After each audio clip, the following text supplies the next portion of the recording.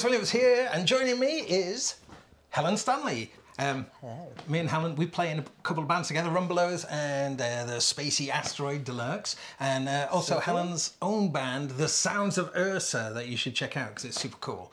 Uh, but the reason Helen is joining me is because we're going to investigate this new piano app from E Instruments. Now, this is called Pure Upright. We've just listened to it there in its kind of pure sort of default setting there at the top there.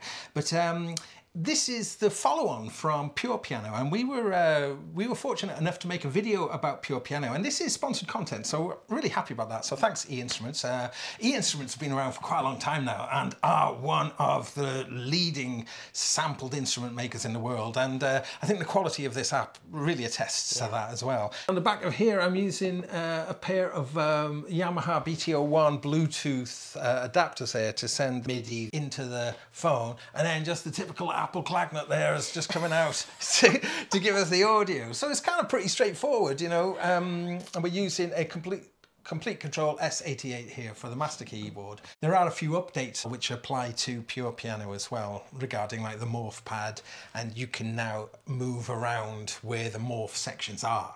Yeah, very cool. Yeah, more Those about that. blend, That yeah, blend thing. blendings. Yeah.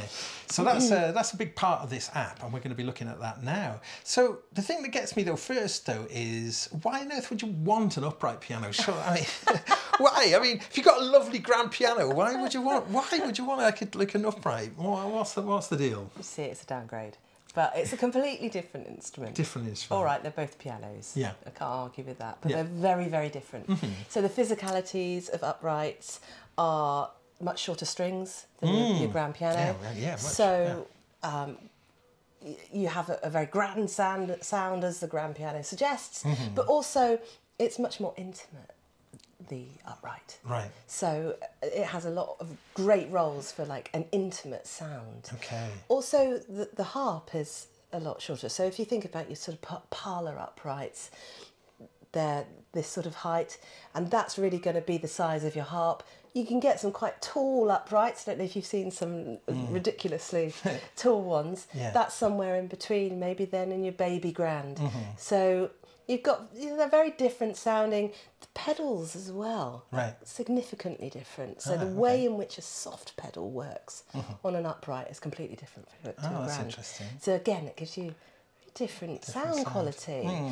Um, I think also we've got to talk about the history of the instrument as well, because if you think about the uprights, typically Victorian time, your typical sort of upright pianos. In your in your parlor. Yeah, Right, yeah, yeah. absolutely. And I mean, of course, you see, a grand piano is going to be uh, for concerts and for projecting the sound out to the audience. An upright piano is going to be up against the wall, giving you immediate sound and filling the room behind you. Exactly, So it's almost got like a different, Yeah.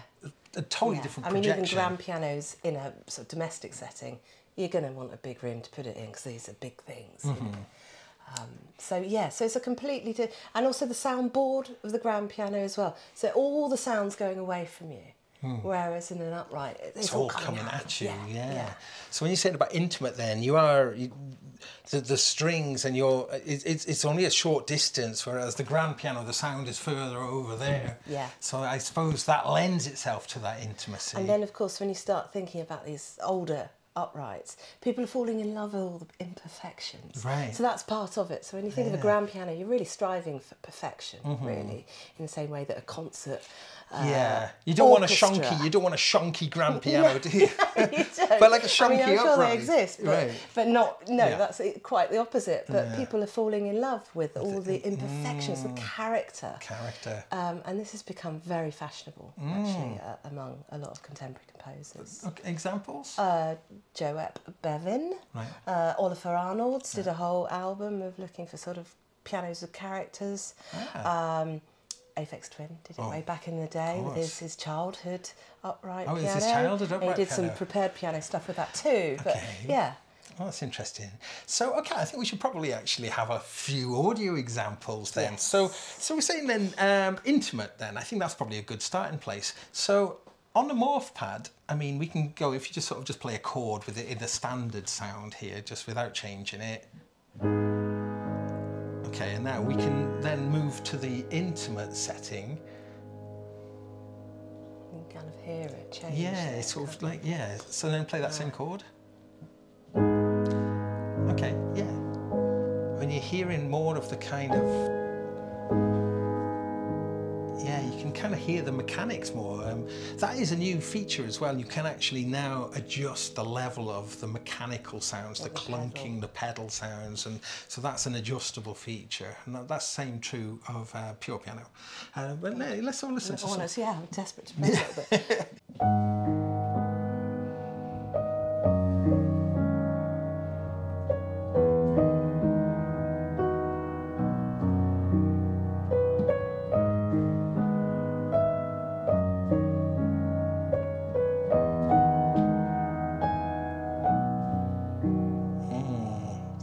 Yeah. Really nice.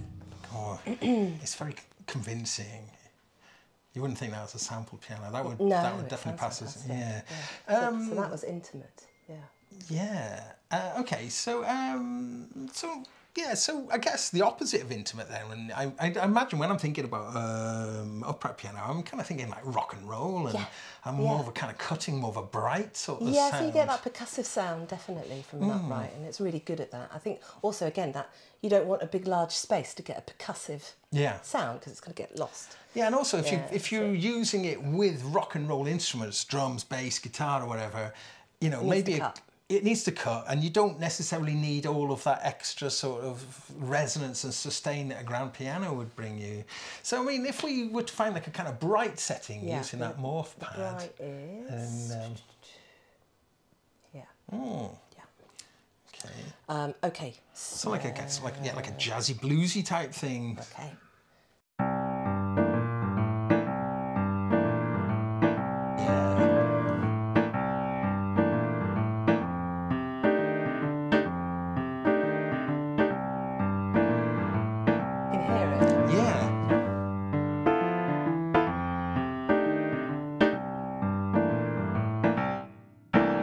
Yeah. so as you're coming up there, you, you, you're hearing that like it's almost like like almost like a guitar, like Yeah. sort of uh, yeah, that kind of yeah. and dead. Dead, Yeah, yeah. that's what you really want. You know, you're not going to get that off a grand piano. Are I mean, it would be quite good in kind of like a pop rock kind of setting as well. It might be kind of like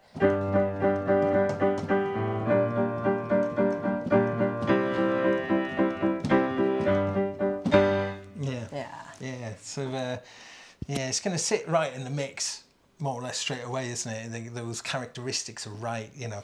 Uh, Okay, that's it. It's really cool. So, um, so like we were talking about character, and then Yeah. the fact I suppose that was quite nice with the morph pad there. I mean, if you want to, you can go into the EQ and get in a little bit more surgical, but being able just to kind of have a little sort of smooth smooch around. The for interface is super user friendly, isn't it? Yeah. Yeah. You don't need. To, it's not menus. You, No. You're literally, you know, using your ears. I mean, we covered all of this with our in, in, in our other video.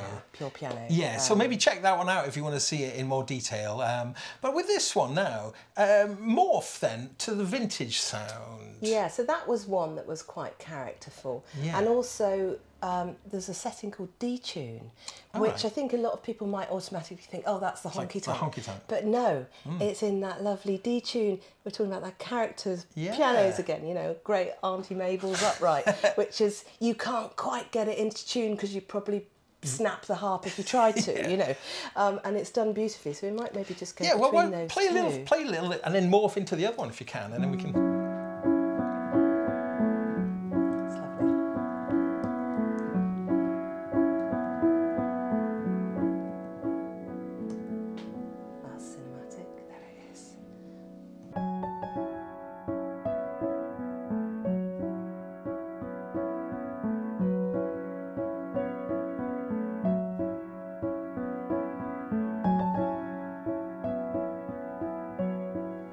Yeah, it's sort of yeah, it's it's not that kind of overly kind of detuned, but it sounds very authentic. Yeah.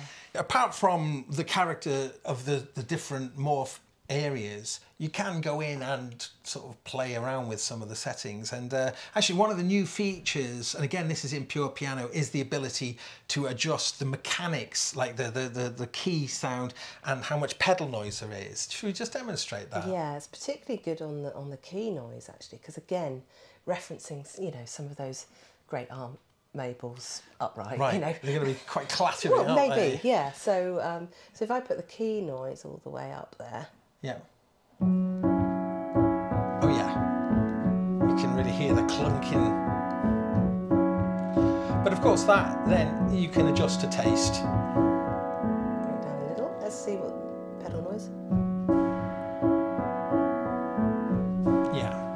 Pedals coming off.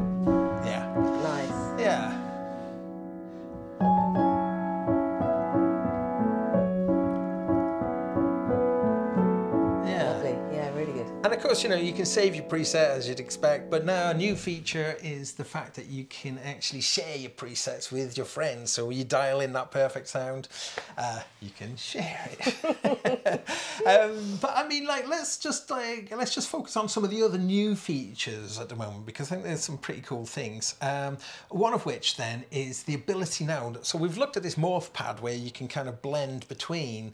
Uh, and you find where the different morph zones are. Uh, and then you can smoothly move. Let's just just do a just just do a little blend between two of the sounds. Um, Any particular? any sound will do. Cinematic and reverse. Yeah. Yeah? So if you want to just sort of so you can hear. So being able to morph between.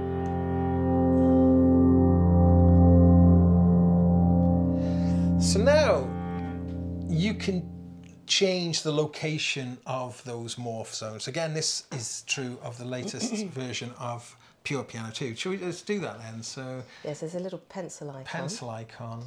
Shows you where you've got all your different points, Yeah. and then you can move, just swap them around. So let's maybe swap the uh, the gate. Let's put the gate over there where intimate was. Okay. Let's have, a look, let's have a look at that.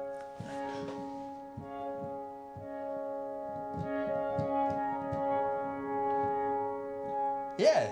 So just by simply moving that around and then finding a morph point between it, it's just found a brand new sound. Uh, so that's pretty cool. And then um, another of the features, which I think is pretty cool, if you're going to use this in any synchronized way, is that the delay can now be tempo synced, which is super cool. Uh, so if you're uh, if you're running it with any kind of MIDI there, that MIDI, it'll the, the delay will sync to time. And again, that's in Pure Piano too. Let's try something a bit more experimental then, because that's another aspect of the pure piano that's quite, uh, the pure upright It's quite on nice. then. Yeah, let's, I'm going to get get in on the action. If you say experimental, we've got All to have right. you in there, haven't we? Cool. All right, so let's maybe go between what, like the pad and reverse. Is that? Yeah.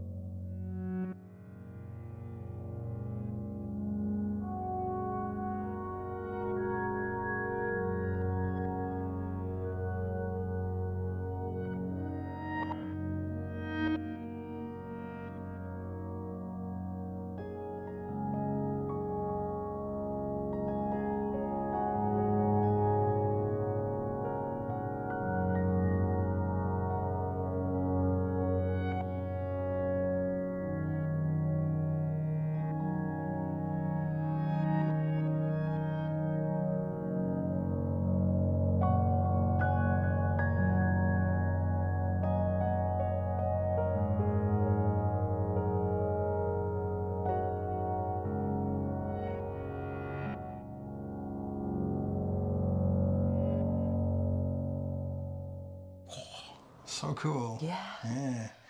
Wow. Thank you, Helen. Check out our other video if you want to see some of the other details. The, the apps are more or less the same functionality wise, but, uh, but as we've discovered, entirely different sounding, completely different character. And character being the buzzword, I think, for this particular Yeah. app. Yeah. Imperfect character. Yeah. A bit like me. no comment. Uh, okay, thanks everyone. We'll see you in the video soon. Thanks and, very uh, much. Wicked.